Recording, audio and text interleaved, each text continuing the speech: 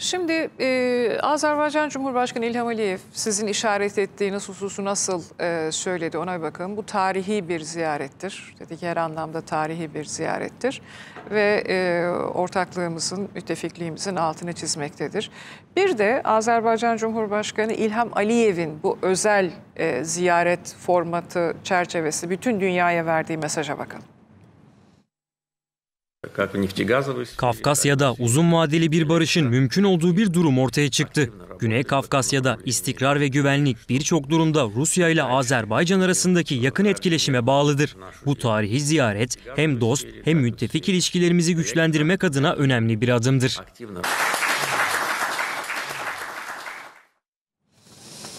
Evet, sizin işaret ettiğiniz gibi hani tarihi ziyaret demesi burada hani az önce zaten fotoğrafları aktardık ne olursa olsun. Burada e, yani Batı'nın bir planı varsa bizim de bir planımız var deyip mesela Ermenistan'ın bir sürüklenmesi var net olarak.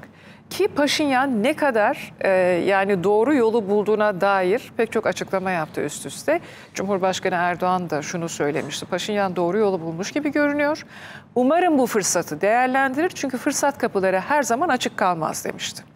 E, neden bahsediyoruz? İşte bizim sadece kendi e, sınırlarımız dahilinde topraklarımız vardır. Ötesinde toprak talep etmemeliyiz. Ağrı Dağı'nın işte devlet armasından kaldırılması, 24 Nisan'da soykırım e, dememesi. Ya biz bu soykırım meselesine takıldık kaldık.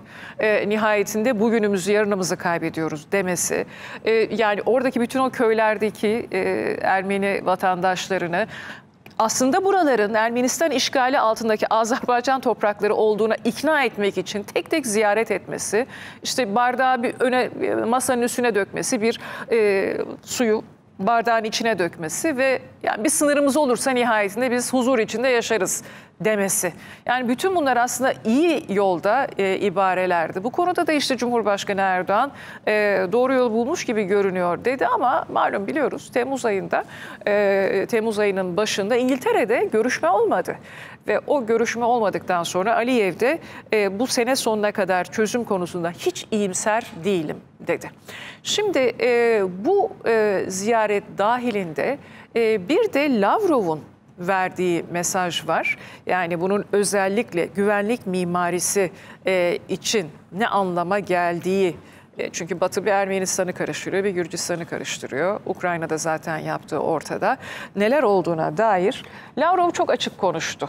E, Putin son derece hani olumlu bir hava içinde net olarak bu nazik davete teşekkür etti. Sıcak fotoğraflar verdi. Üzerimize düşeni yaparız falan dedi ama Lavrov açık konuştu. Ne dedi bakalım? Azerbaycan ile Ermenistan arasında bir an önce anlaşmanın sağlanmasından ve ulaşım bağlantıları üzerindeki engellerin kaldırılmasından yanayız. Yani Zengezur koridoru. Maalesef Ermeni yönetimi Ermenistan'ın Sünnik bölgesi üzerinden ulaşım bağlantılarına ilişkin anlaşmaya sabote ediyor. Bu anlaşmada Paşinyan'ın imzası var. Bu yaklaşımın amacının ne olduğunu anlamak zor. Böyle dersek e, son bir yorumunuzu alayım. Poyraz Hocam e, hem Zengezur koridoru hem de e, sabote ediyorsun farkındayım. Gözüm üzerinde mesajım bu. Aynen öyle Sayın Nur Hanım. Bir yandan da barışın aslında Suşa'da imzaladığımız beyannamenin ve daha önce Moskova'da imzalanan barışın da tekrar tüm dünyaya deklare edilmesi. Dolayısıyla ben Batı Zengezur e, ifadesini Güngör Bey'in çok önemsiyorum. Lavrov'un açıklamaları ve Putin'in, Sayın Putin'in ziyaretiyle beraber aslında Güney Kafkasya'ya bir istikrar gelecek gibi duruyor. Tabi Ermenistan her an ABD'de de seçimler olduğu için 5 Kasım'a kadar e, Batı yanlısı duruşla ilgili değişik zikzaklar ortaya koyabilir. Dolayısıyla Sayın Aliyev de onu ifade ediyor. Yani yıl sonuna kadar herhangi bir e, sonuca ulaşılamayacağını diye. Ama Putin'in ziyaretiyle beraber Ermenistan'ın üstündeki baskıların daha da artacağını değerlendiriyor.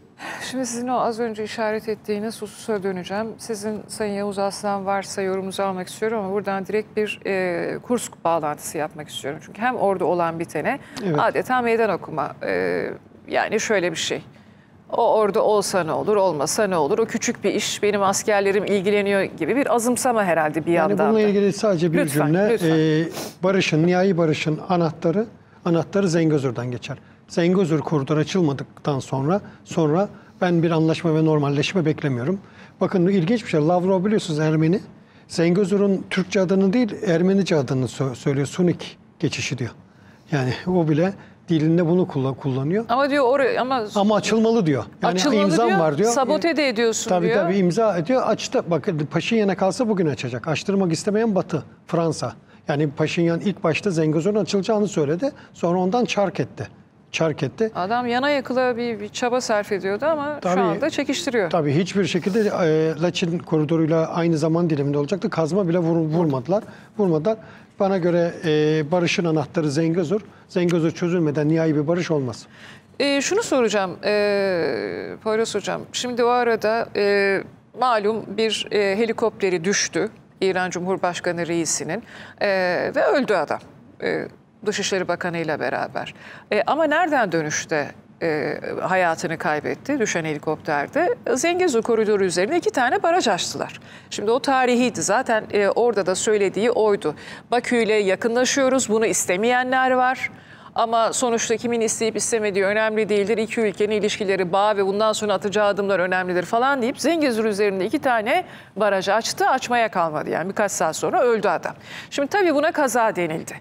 Ama nereden bakarsanız bakın bu çerçevede onu da bir yere koyabiliyor musunuz? Ee, reisinin ölmüş olmasını. Çünkü orada da bir şeyler sanki hani öne açılacakken adam öldü bambaşka bir e, boyuta gitti.